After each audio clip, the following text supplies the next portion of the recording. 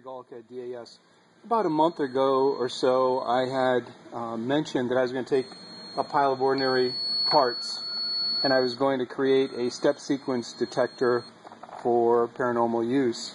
Well, I have couplings and piezo elements, and I made a little nylon knurl for a center point for a fulcrum, and I used some common washers for weighting and loading the piezo element. These are the sensors. This is a finished product. This is what a sensor looks like. I'm just going to plug this really quick. It's got a little tripod mount in the bottom, glow in the dark top, little nylon hole for the sound to emit from the piezo element, which vibrates at a high frequency. All right, the whole purpose of this box, it's basically a distribution box that allows the input from multiple sensors. In this case, we have three, six, seven inputs. These can go down a hallway, they can go upstairs, they can go in different rooms, and this can be monitored.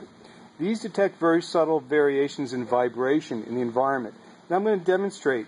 My goal is to show some sequence or logical sequence going up and down steps or down a hallway.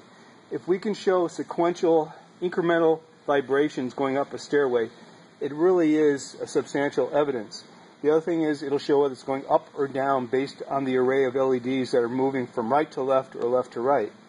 Imagine having these stagger down the hallway every 10 feet and watching these lights in sequence go on as something changes throughout that hallway environment. Let's uh, demonstrate this real fast. These uh, you simply plug into your channel. That's channel 2. That's channel 1. I haven't finished it yet, but this is where I'm at among all the other things I'm working on. So I'm going to be quiet for a minute because they detect very subtle vibrations. Just to demonstrate, if these were on steps, in this case just two steps, here's what would happen. And I got to reverse these because I have I'm set up wrong. Here we go.